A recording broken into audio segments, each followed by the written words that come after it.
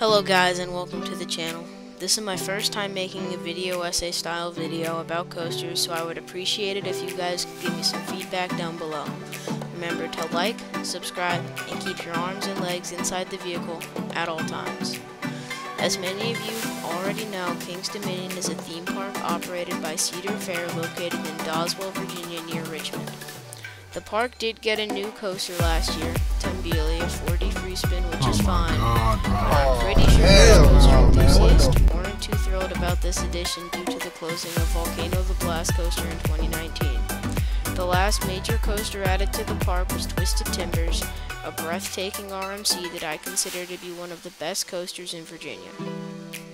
The other main coasters at the park include Intimidator 305, an Intamin Giga coaster, often considered one of, if not the most, intense roller coaster in the world, and Dominator, one of the best B&M floorless coasters out there.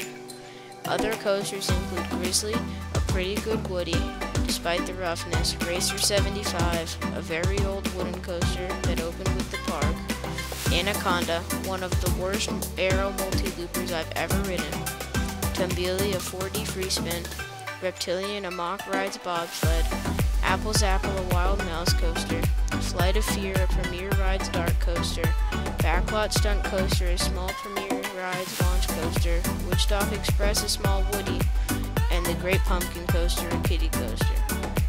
If you were to ask most coaster enthusiasts what the best theme park in Virginia is, they would most likely say Busch Gardens Williamsburg, especially after the addition of Pantheon, a record-breaking Intamin multi-launch. Now, while I can't necessarily prove Kings Dominion is better than Busch Gardens Williamsburg, I would like to say that in my opinion it most certainly is. When comparing parks like this, the simplest way to do it is coaster by coaster, which is what we're going to do today. To get it started, we'll talk about some of the weaker coasters. InvadR, the only coaster I didn't ride, is basically the equivalent of Racer 75. Both coasters are smaller medium-sized woodies with a relatively mid-ride experience. Now we have Loch Ness Monster, a janky Arrow looper famous for its interlocking loops. Now I'm not crazy about this ride like some people are. In my eyes, it's a small-scale Arrow looper that's been maintained very well. Now this, without a doubt, knocks out Anaconda, but I feel is the equivalent of Backlot Stunt Coaster and Tumbili combined. Therefore, taking them out of the equation, now we have Griffon, a B&M dive coaster. Now I don't really like B&M dive coasters.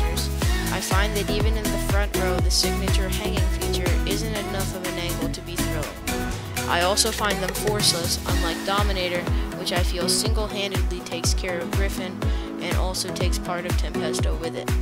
Tempesto is a Skyrocket 2, a popular model at Busch Gardens parks.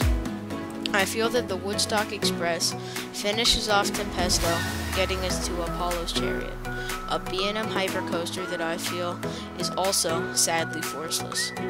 Grizzly, in my opinion, is a one-for-one -one trade with Apollo's Chariot, being an okay Woody offering some wood ejector and laterals. Next is Verbolten, a Zierer family launch coaster with a nice drop track to thrill riders. I personally love this ride, and in my opinion, it takes three coasters with it. These being Flight of Fear, Apple Zapple, and Reptilian, which is forever going to be Avalanche, but whatever. Now we have two coasters for each park. This contest could go either way, but there is a winner at the end of the day. Next is Alpengeist, a B&M invert that offers great positive G's and a smooth ride throughout the trees. I really enjoy this coaster and say it might take as much as 70% of King Dominion's co-flagship coaster, Twisted Timbers.